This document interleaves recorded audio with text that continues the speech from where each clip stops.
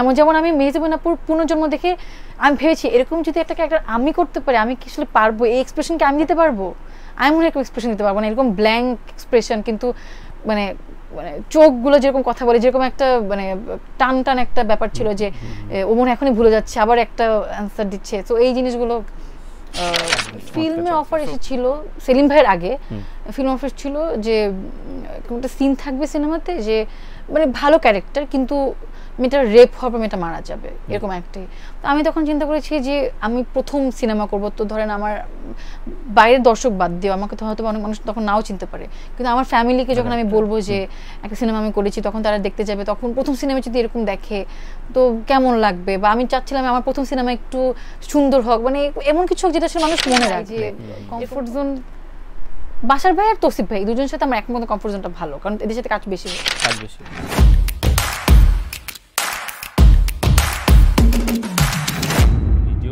এবার কয়েকটা বিষয় নিয়ে আসলে প্রত্যেক অভিনেত্রীর কাছ থেকে একটু আমি কমিটমেন্ট নিতে চাই। তোমাকেও ছোট করে একটু বলতে শুনব। ধরো, এখনকার যে কন্টেন্ট ওয়াইজ কাজ হচ্ছে, তাতে অনেকগুলো অসঙ্গতি, অনেকগুলো তর্ক বিতর্কের জন্ম দিচ্ছে। যেমন প্রচুর ভালগারিজম আসছে, প্রচুর ডাবল মিনিং ডায়লগ থাকে। তো এই, নানান ধরনের স্ক্রিপ্ট তো আছে আছে তো, আসে তোমার কাছে। এগুলো আসলে বাছাই করো কীভাবে? কারও পরামর্শ নাও, নাকি তুমি বুঝো যে এই প্রোডাকশনটা আমার মানে না করলেও চলবে বা করাটা উচিত না। এই ফিল্টারিংটা কীভাবে হয় তোমার? আমার এটা যেমন শুরু থেকে আমার আমার তো আসলে ওরকম কেউ কখনো ছিল না বা আমার ফ্যামিলির মধ্যে যেহেতু কেউ নাই মিডিয়াতে যে আমি কারোর সাথে সাজেশন নিব বা আব্বু বা আম্মুকে দেখাবো যে দেখো এটা করব কিনা তাদেরও ওই ব্যাপারে আইডিয়া নেই। তারা আসলে অনেক কিছু বুঝবে না। আর আমি আমার ওরকম কেউ ছিল না যার কাছে জিজ্ঞেস করব। কারণ এখন পর্যন্ত যতগুলো কাজ করেছি সব নিজের ডিসিশনে আর আমার ভয় যেটা আমি যেটা মনে করি যে এটা আমি যেটাতে কনফিডেন্ট ফিল করি। ওটাই আমি করব। আমি আসলে আসলে অন্য কারও ডিসিশন নেইও না সত্যি আচ্ছা, আচ্ছা, বলতে কারণ নিজের প্রতি আমি ধরুন আপনাকে একটা কথা বলো আপনি বলেন হ্যাঁ তুমি এটা করো না তোমার জন্য ভালো না। কিন্তু আমার মনে হয় যে না এটা আমি করব তাইলে। উনি কেন না করছে? এটা আমি কেন করতে পারব? অবশ্যই করতে পারব। সেই ব্যাপারটা আমার মধ্যে আছে এই জন্য আমি আমার নিজে- নিজের ডিসিশন নিজেই নেই।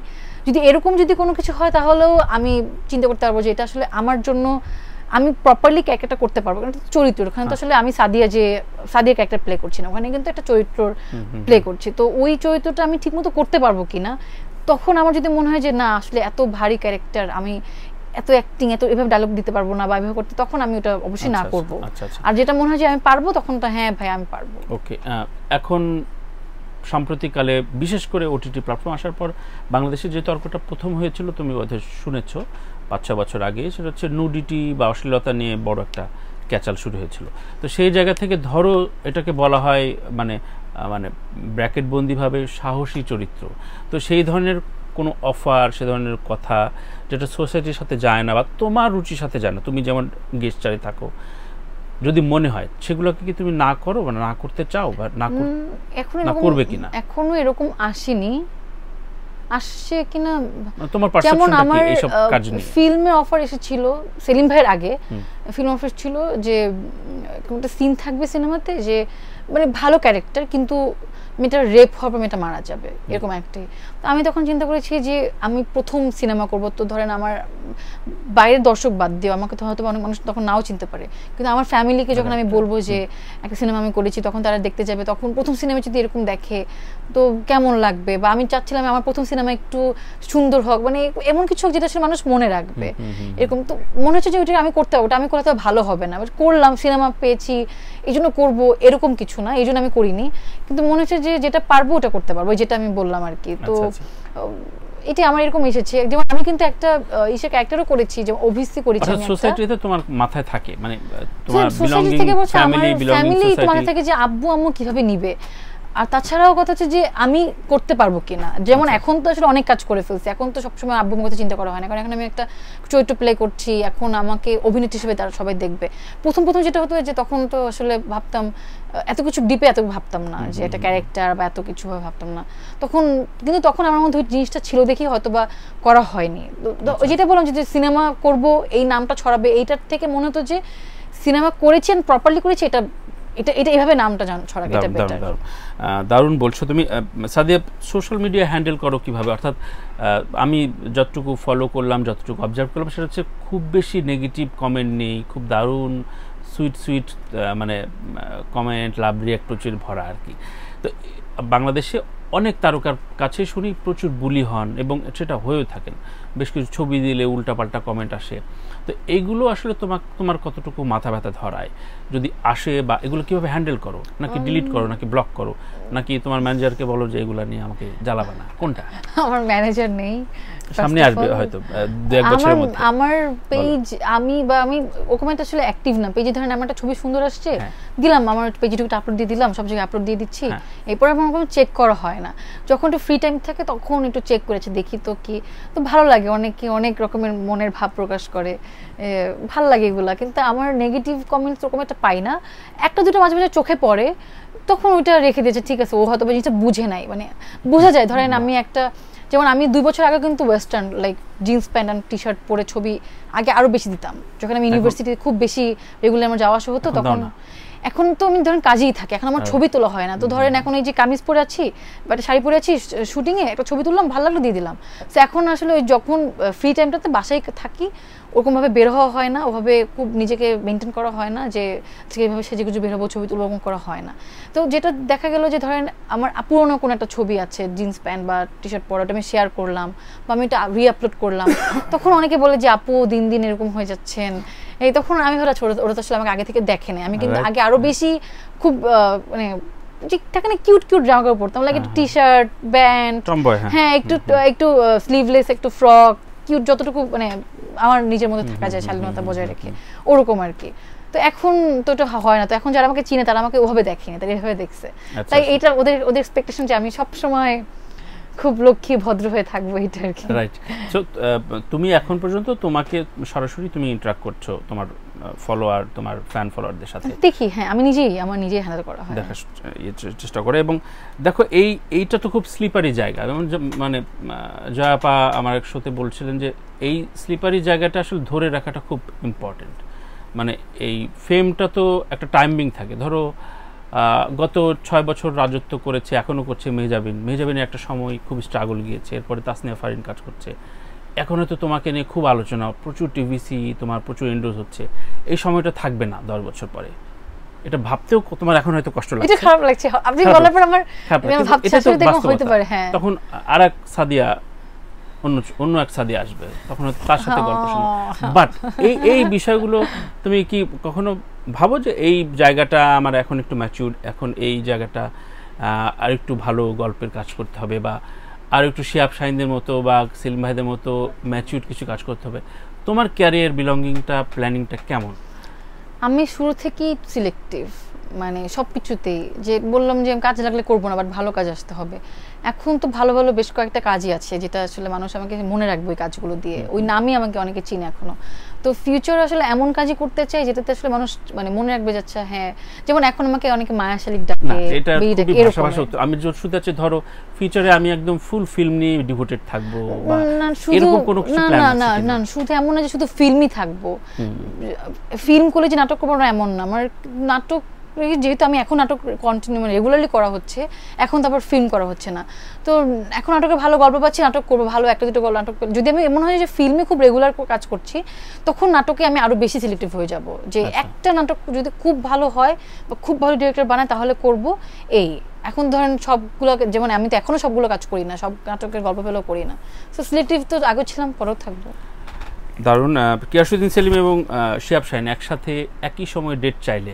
কাকে এক্সকিউজ করতে বলবা যে একটু পেছান না আপনি? আমি দুজনকে বলব ওনাকে বলব যে উনি আমার কাছে এটা চেয়েছে এই সেম টাইমই চেয়েছে। লয়ারদের মতো উত্তর হয়ে গেল না না না না এটা এটা আমি বলব যে এই সেম টাইমই চেয়েছে এখন দেখেন যেমন এখানে ই আছে কিন্তু যখন আমাকে শাহিন ভাই ফোন দিয়ে বসে যে তুমি দেখো তোমার ডেট ফাঁকা আছে কিনা কাজল রেখে আমি কিন্তু ঠিকই বলছি যে ভাইয়া দেখেন না আমার তো একটা ওয়েব ফিল্ম আসছে আমি আসলে এটা করতে চাই। হ্যাঁ সেলিম ভাইকে সেলিম ভাইয়ের এদিকে মানে চিফ এদিকে মোয়াপুকে বলেছি যে আপু তুমি দেখো কথা বলে একটু আমি তো ওটা করতে চাই। সেলিম ভাইকে তুমি বোঝাতে পারো but ওইটা আমার জন্য একটা ভালো কাজ হবে। না আমি তো সেলিমের সাথে কাজ করেছি সো তাকে তাকে এখন আমার আবদার করতে পারি যে ভাইয়া আমার এটা করতে চাই এন্ড সেও তো বুঝবে যে না এটা আমার জন্য ভালো কাজ হবে। সো সে আমাকে ওই স্পেসটা দিবে ঠিক আছে তুমি করো। এন্ড ওই টাইমে তো লাকিলি ডেটটা আমার সাথে ওভাবে মিলে গেছে। তো এখন যেটা হয় যদি কোনো দুজনের পক্ষে যদি দুজনের সাথে যে এরকম ক- এই হয় তখন আমি বলব যে দুজনকে বলব যে আমার এইটা হয়েছে আমি কোনটা করব? তখন তারা যেটা ভাববে। তো এরকম এই না। ঈদের কিছু গল্পে আসি। ঈদের খুবই কমন প্রশ্ন যেটা থাকে যে ঈদের আসলে মূল প্ল্যান মূল ঈদের সেলামির গল্প। বাট তোমার কোন ঈদটা জীবনের সবচেয়ে প্রিয় ঈদ? মানে ব্যস্ততার এখনকার জীবন একটা আর চার বছর আগে সাদিয়া তো অন্য সাদিয়া ছিল। তো বলো, সেই সময় সাদিয়ার প্রথম বা খুব স্মরণীয় কোন একটা ঈদের গল্প বলো। আমার আমার ইমোশনের একটা জায়গা আছে, সেটা হচ্ছে আমার দাদা যখন বেঁচে ছিলেন, তখন আমার ঈদ খুব ভালো যেত। মানে তখন যে ভালো যেত আমি তাও বেশি বছর না আমি ক্লাস ফোর পর্যন্ত দাদা- দাদাকে পেয়েছি। তো ওই টাকা দিত সালামি দিত দুই টাকা করে ওইটা আসলে আমি খুব মনে করি। অ্যান্ড এরপরে আর ওরকম ঈদ আর ওরকম ঈদ লাগে না। এখন যেমন আমি চার বছর আগেও আমি ঈদে বাসায় থাকি একটু সন্ধ্যাবেলা একটু ফুপির বাসা যাই বা দাদার বাসায় যাই একটু চাচাদের সাথে একসাথে ডিনার করি দ্যাটস ইট এর বাইরে আসলে খুব বেশি আমার কিছুই করা হয় না ঈদে। আচ্ছা, আচ্ছা। যেমন গত বছর ঈদটা আমার কাছে খুব ভালো লেগেছে কারণ গত বছর আহ, ঈদের ঈদের দিন আমার ঈদের দিন আর ঈদের পর দিন আমার নাটক বের হয় ফুলের নামের নাম। তখন মানুষের যে রিয়াকশনগুলো আমি পাই এরপর আমি স্ট্যাটাস দিচ্ছি একটা পর দিনে ওই এক- প্রথম দিন তো আপলোড দিল এর পর দিন দেখতেছি যে না আসলে মানুষের মানে আমার ভেসে যাচ্ছে আমার ফেসবুক আমার মেসেঞ্জার মেসেঞ্জার আমার ইভেন আমাকে মানুষজন আমাকে জিমেল মানে আমার জিমেল আমি নোটিফিকেশন পাচ্ছি যে ইমেল করছে আমাকে এরকম। তখন আমি একটা স্ট্যাটাস দেই যে এবার ঈদ ঈদ মনে হচ্ছে। আচ্ছা আচ্ছা হ্যাঁ তো মানে এরকম আর কি। অবশ্যই একটা দারুণ সবচেয়ে বড় হ্যাঁ। আনন্দের জায়গা। অনেকদিন পর আমার গত বছর ঈদ ঈদ লাগছে দেখা যাক এবছর কি হয়। আচ্ছা এবছর তো বোধহয় সর্বাধিক নাটক নাকি? হ্যাঁ এটা তো এখন পর্যন্ত কাজ করা শুরু করলাম এই রাইট না কিছুদিন আগে একটা অনলাইনে দেখলাম। হ্যাঁ। এবার ঈদের সর্বাধিক নাটকে দেখা যাবে। আমি শুটিং করেছি প্রায় পনেরোটার মতো। তুমি আমার মোবাইলের উপর নোটস করা আছে। আচ্ছা আচ্ছা। প্রায় পনেরোটার মতো আমি শুটিং করেছি। হ্যাঁ, হ্যাঁ। আর সামনেও দুইটা কাজ আছে। বিশ তারিখ পর্যন্ত আমার কাজ আছে। দুইটা নাটকের শুটিং তো কিন্তু যেটা হয়েছে যে এখন অনেকগুলো কাজ করা হচ্ছে ঈদের জন্য কিন্তু ওগুলো এখন ঈদে দিবে না। কারণ ওই যে পোস্ট প্রোডাকশনে টাইম দিতে পারেনি সব ডিরেক্টররা তো দুই প্রায় বেশ কয়েকটি আমার ঈদের পরে আসবে। আমার কুরবানি ঈদের জন্য রেখে দিয়েছে আবার। কিন্তু আসবে। এবার ঈদে অনেক ভালো। সাত আটটার মতো আসবে এরকম। সাদিয়া কো হিসেবে কে বেশি কমফোর্ট আমি তো সবার সাথে আমার একবার একবার করে এক্সপিরিয়েন্স কাজ করার। যেমন আচ্ছা। তৌসিফ ভাইয়ের সাথে আমার কাজ করে এক্সপিরিয়েন্স তিনবারের মতো। বাসার সাথে আমার কাজ করে এক্সপিরিয়েন্স ছ সাতটার মতো। আচ্ছা এক লাইনে তুমি এক্সপ্লেন করো আমি কয়েকটা নাম বলি। না না ওয়েট ওয়েট ওয়েট যদি আর আর হচ্ছে তোমাকে সহজ করে দিই আসো। এখন আমার ওরকম নাই যে কমফোর্ট জোন বাসার ভাই আর তৌসিফ ভাই দুজনের সাথে আমার একমত কমফোর্ট জোনটা ভালো কারণ এদের সাথে কাজ বেশি হয়েছে। কাজ বেশি হয়েছে আচ্ছা। আমি এবার একটু আসি। অপূর্ব কোন সেন্সে তোমার কাছে মানে ইএসপিটা কি অপূর্ব অভিনয়ের তোমার কাছে? ভাইয়া অনেক ভালো থাকে না একটা ধরেন আমার সাথে যেটা হয়েছে যে সে আমাকে অনেক ইজিলি মানে বুঝে, বুঝাতে হেল্প করছে যে তুমি এইটা করো। মানে আমি অনেক সময় তার সাথে যখন ফার্স্ট সিন করি, একটু ক্লুলেস ছিলাম বা শাইন ভাইয়ের ভয়ে কী করব, না করব, তো সে সাহসটা দিয়েছে যে এইটা করো। তো আমার যে উনি অনেক কোঅপারেটিভ অনেক হেল্পফুল আর উনি অনেক ক্যারেক্টারটা অনেক ভালো বুঝে। মানে ক্যারেক্টারের যে চার্মটা ভালো বুঝে যে এই ক্যারেক্টারটা এরকম করলে মনে হয় মানে ভালো লাগবে বা আচ্ছা। এটুকু আমি তার সাথে কাজ করে বুঝেছি আর কি। আফরান শো আসতে কাজ হয়নি। দেখা কাজ বা কাজ করতে চাওয়া মানে কাজ করতে তো অবশ্যই চাই ভাইয়ের সাথে। আচ্ছা আচ্ছা কোনো কাজ দেখা হয়নি? হ্যাঁ দেখা তো হচ্ছে পুনর্জন্ম দেখা হচ্ছে ওনার মাঝে মাঝে ওই যে অনেক সময় কমেডির কিছু ক্লিপ ক্লিপ আসে হ্যাঁ, ফেসবুকে clipping ওই ক্লিপগুলো দেখে আমার খুব মজা লাগে যাচ্ছে উনি তো সিরিয়াস ক্যারেক্টারগুলো খুব ভালো করে আবার এই কমেডি এভাবে যেমন একটা সিন আছে আমার খুব জানি না নামটা ভুলে গেছি নাটকের। উনি মেহেজের উপর ছবি তুলে দিচ্ছে তো মেহেজের উপর বিভিন্ন পোজ দিচ্ছে। বলাই এমন কেন? এমন মনে যাচ্ছিস কেন? এমন করে আসছিস কেন? সোজা হও তো ওই ছোট ছোট ইগুলো আমার খুব মজা লাগে যে উনি তো খুব জোস মানে এই আর কি তো বাট কখনো লাগে। অ্যাপ্রিসিয়েট করে মেসেজ বা টেক্সট করা হয় না? কাউকে ভাবে করা হয় আচ্ছা আচ্ছা। যেটা সব সব জায়গায় কমন সব আর্টিস্টদের ক্ষেত্রে কমন পাই ধরো তোমাদের সমসাময়িক বা ইমিডিয়েট সিনিয়রদের কোনো মেসেজ কোনো রকম অ্যাপ্রিসিয়েশন বা কোনো রকম ফোন পেয়েছি তো। হ্যাঁ আমি তসিফ ভাই থেকে পেয়েছি খায়রুল বাসার ভাই থেকে পেয়েছি পুরুষ পুরুষ। বলো হ্যাঁ। দুজনে পুরুষ হ্যাঁ হ্যাঁ পেয়েছি। তারপরে মেহেজবিন আপু আমার মায়াশিলিক দেখে সে আপলোড করেছে মানে লিখেছে আমার মায়াশিলিক নিয়ে। এখন পর্যন্ত তারপর হচ্ছে আমি একটা প্রোগ্রামে গিয়েছি ওখানে ভাবনা আপু তারপর হচ্ছে নাদি আপু এরা প্রশংসা করেছে। আবার সিনেদের মধ্যে দীপা আপু সুইট আপু এরা প্রশংসা করেছে।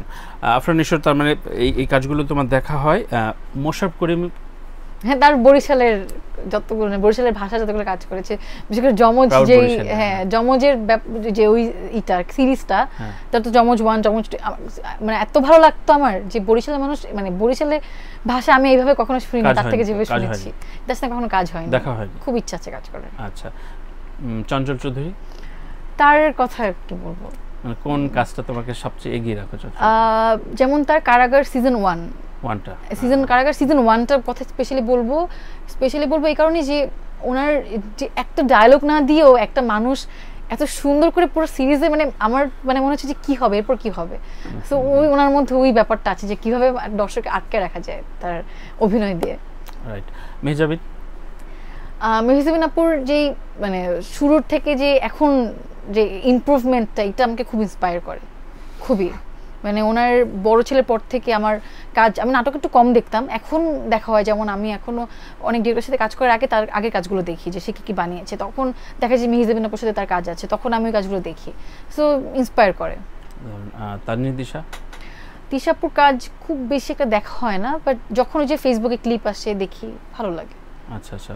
তাসনিয়া ফারিন? দেখি ভালো লাগে। ম্যাক্সিমাম কাজে দেখা হয় আমার তো ঘুরে হ্যাঁ, ঘুরে। মানে- তাসনিফ একটা কাজ আমার খুব ভালো লেগেছে সেটা হচ্ছে এখানেই শেষ নয় আরিয়ান ভাই বানিয়েছিল। আরিয়ান ভাইয়ের সাথে তখন আমি ফুলের নামের নামটা রিলিজ হবে তার আগেই এখানেই শেষ নয় রিলিজ হয়েছে। তো তৌসিফ ভাই আর তাসনিফ আপু ছিল। তো দেখার পরে আমার এত ভালো লাগে না আমি আরিয়ান ভাইকে টেক্সট করি ভাইয়া খুবই ভালো হয়েছে। আমাদের কাজটা কেমন হবে? মানে আমারটা তাহলে একদমই ভালো হবে আচ্ছা, না। আচ্ছা। আমি তখন তৌসিফ ভাইকে টেক্সট করি হ্যাঁ, ভাইয়া হ্যাঁ, আপনার এখানে শেষ নয় খুব ভালো হয়েছে।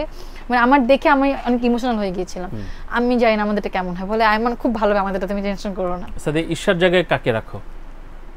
মানে ঈশ্বর জায়গায় ইন্ডাস্ট্রিতে যে?